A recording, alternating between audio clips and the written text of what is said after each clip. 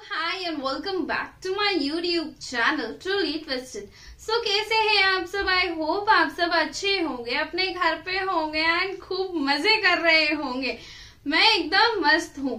वैसे मैं श्रीति आप सबके साथ आ गई हूँ एक और वीडियो लेकर।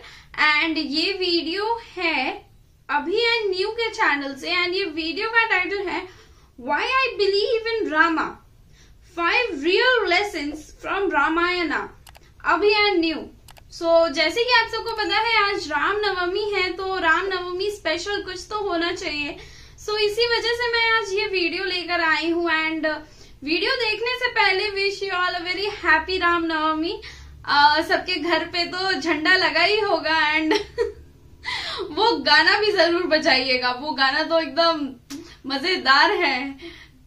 अब सब समझ ही गए होंगे कौन से गाने के बारे में बात कर रही हूँ। हर घर में बस एक ही ना।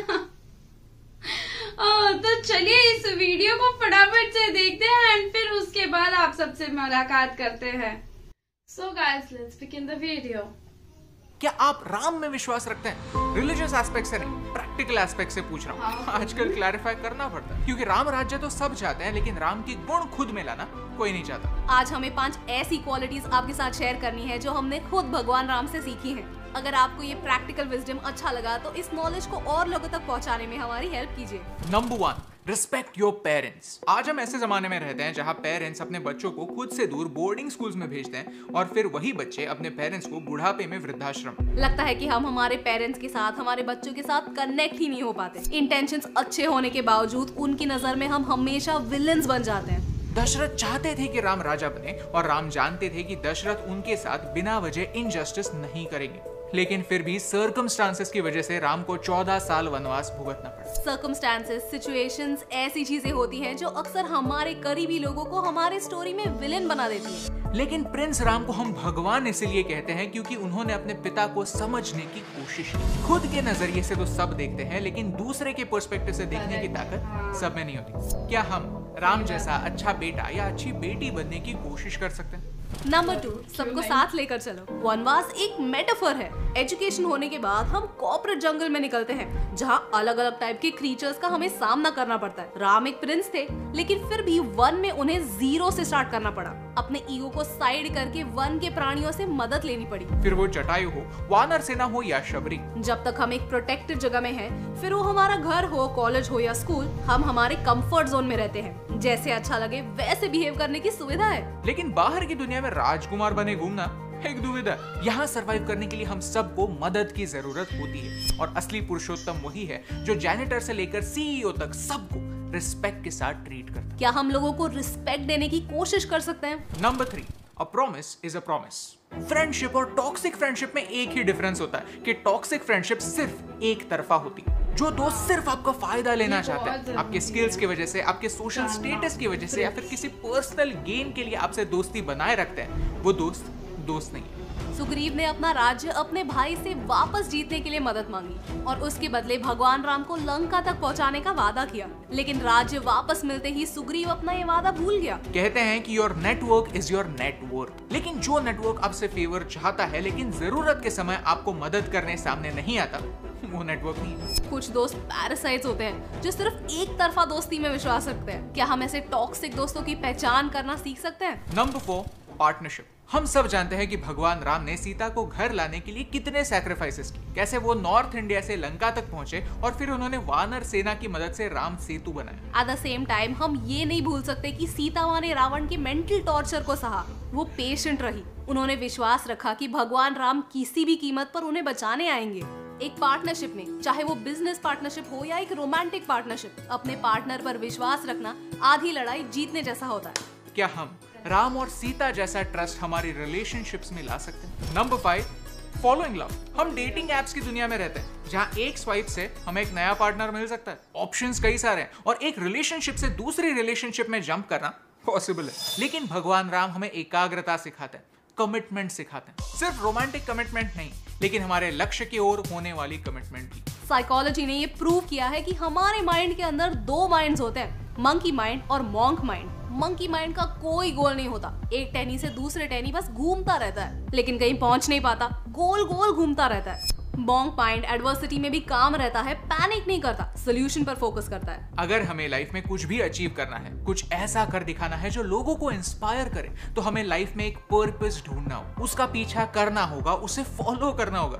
और ये आसान नहीं। कमिटमेंट प्यार पर्पज इन सारी चीज़ों के लिए मेहनत करनी पड़ती है, तपश्चर्या करनी पड़ती है, वनवास जाना पड़ता है। लेकिन जो ये काम कर जाता है उसके सामने दुनिया झुकती। हाँ जिस बात पर डिबेट बहुत होती है कि प्रिंस राम जैसा कोई प्रिंस एक्चुअली भारत में था या नहीं लोग पूछते हैं कि प्रूफ क्या है? मुझे लगता है कि भगवान राम को शाश्वत यानी इटर्नल बनाने का एक ही तरीका है कि उनकी क्वालिटीज को हम हमारी रियलिटी में बदले।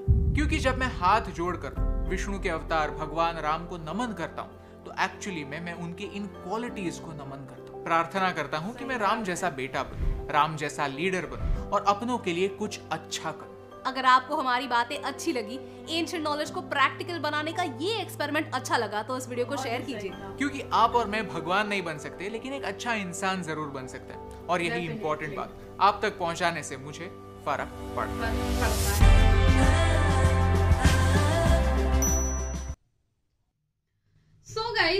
वीडियो इतनी छोटी थी, लेकिन फिर भी इसने, इस वीडियो ने बहुत कुछ ही बताया गया। वो फाइव क्वालिटीज जो हमें अपने लाइफ में एप्लीकेबल करनी चाहिए और हमें सीखना चाहिए श्री राम से कि वो क्वालिटीज हम अपने अंदर लाए एंड वो एप्लीकेबल करें और एक अच्छा ह्यूमन बीन बने।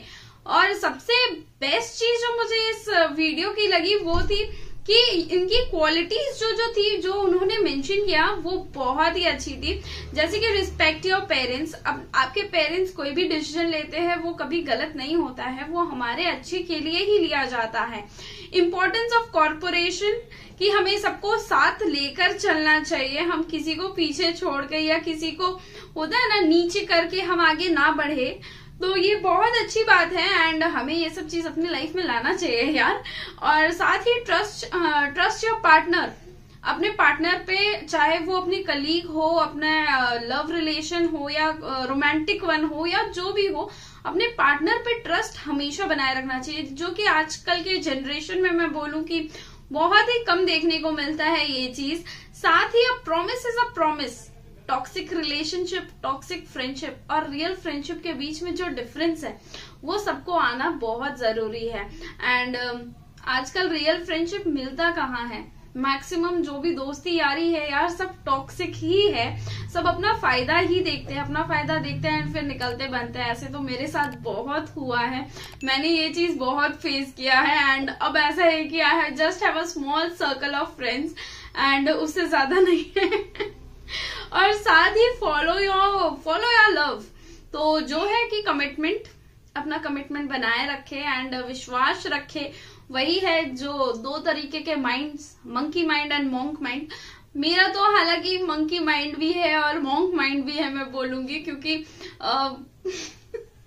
इधर उधर उछल कूद करने वाला दिमाग शांत नहीं रहता एंड मोंक माइंड है कि कभी कभी वो शांत रह जाता है पेशेंस रहता है एंड सिचुएशंस uh, को मैं अच्छे तरीके से कभी कभी हैंडल कर लेती हूँ। वो कभी कभी ही होता है हमेशा नहीं।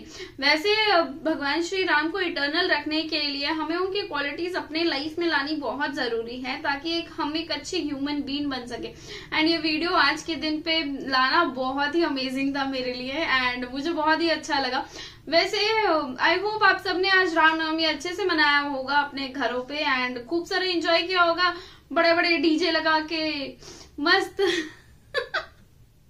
हर घर में बस एक ही नाम, एक ही नारा गूंजेगा। भारत का बच्चा बच्चा, जय जय श्री राम बोलेगा। क्यों नहीं बोलेगा भाई? ज़रूर से बोलेगा। So wish you all once again a very happy Ramnavami and चलिए, अगर आप सबको ये वीडियो पसंद आया है तो ज़रूर से इस वीडियो को एक लाइक दे दीजिएगा। चैनल पे नए हैं तो चैनल को सब्सक्राइब कर लीजिएगा। साथ ही बेल आइकन को प्रेस करना ना भूले, ताकि आप सबको मेरी वीडियो की लेटेस्ट एंड अपडेटेड नोटिफिकेशन सबसे पहले मिले। और साथ ही मेरे बेसुरे आवाज़ को, गाने वाली आवाज़ को म्यूट कर लीजिएगा क्योंकि बहुत खराब गाती हूँ यार। एंड इस वीडियो का लिंक साथ ही मेरे इंस्टाग्राम आईडी आप सबको डिस्क्रिप्शन में मिल जाएगा। तो ज़रूर से जाके मुझे इंस्टाग्राम पे फॉलो कर ले, साथ ही इस वीडियो को भी देख ले। एंड अगर आप सबके पास कोई रिकमेंडेशन है वीडियो रिलेटेड तो ज़रूर से मुझे कमेंट सेक्शन पे बताएँ या कोई सजेशन है तो कमेंट सेक्शन पे ज़रूर से बताएँ मुझे। मिलती हूँ आप सबसे अगले वीडियो में। Till then take care bye